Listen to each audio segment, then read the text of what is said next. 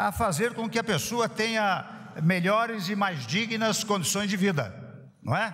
Não parece, mas aquele que mora numa das casas que foram exibidas aqui, destelhadas, não pintadas, que possa verdadeiramente pintar a sua casa, ampliar um quarto, ampliar o banheiro, o governador Marconi, eh, vai sentir-se em condições mais dignas de vida.